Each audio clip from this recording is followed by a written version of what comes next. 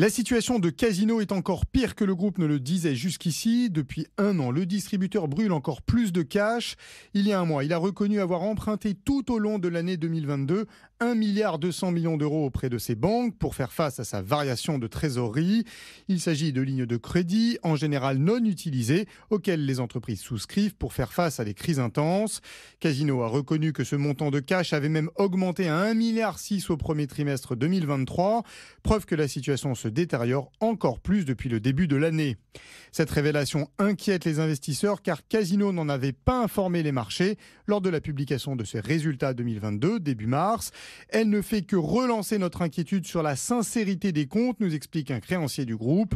Toutes les parties prenantes attendent la présentation de deux rapports d'expertise indépendante lundi prochain sur la santé financière de Casino.